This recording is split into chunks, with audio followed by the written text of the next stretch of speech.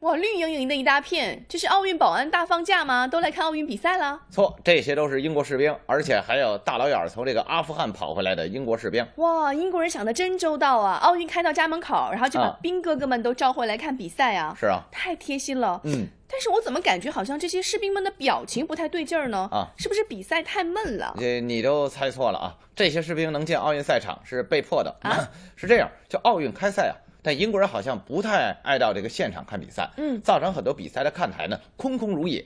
没办法，呃，这个英国的奥组委啊叫来救兵，呃，就找到大兵到看台来充数来了。嗨，这么回事儿。我说呢，怎么没有人拍手叫好、挥国旗什么的？原来是心不甘情不愿呢，难怪大家伙儿情绪不高。呃有一个叫艾德利的士兵刚从阿富汗战场换防回来，嗯刚到家还没等歇着呢，就被派到奥运赛场上来了。嗨又要安保，又要充当观众，都给他郁闷坏了。这艾德利说呀，相比在这里执勤，其实我更愿意在阿富汗巡逻。